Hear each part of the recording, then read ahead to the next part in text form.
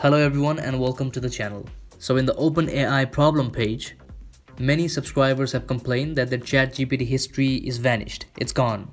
So to solve this out, let's go to our browser and go to chat.openai.com. In the top left side of the page, you should see a three horizontal lines. Just click on that. And right here, you should see all the history that you have searched in ChatGPT.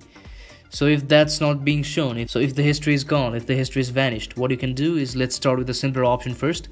In the bottom right corner of the page, you can see a refresh button right here. Click on that refresh button and then check your history again. So if they've still not shown up, then what you can do is you can log out and log in back again with your email and password. That might help as well. Or else another option that you can try is try with a different browser. So I just used Safari here, right? And it's not working in Safari. So I can go to Chrome and in the Chrome search bar I can type chat.openai.com and log into the account. If you still don't see the history then what you can do is you can go to Gmail and then you can report a problem to support at the rate openai.com and they might get back to you with a solution. And that's it. Those are the methods that you can try if your ChatGPT history has vanished.